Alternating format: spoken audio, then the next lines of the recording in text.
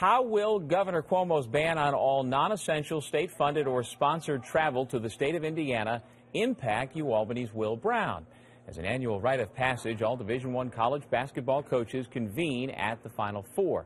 This year's event is in Indianapolis this weekend, so will Coach Brown and his SUNY contemporaries from Stony Brook, Binghamton, and Buffalo be allowed to make the trip? Remember, they are all New York State employees.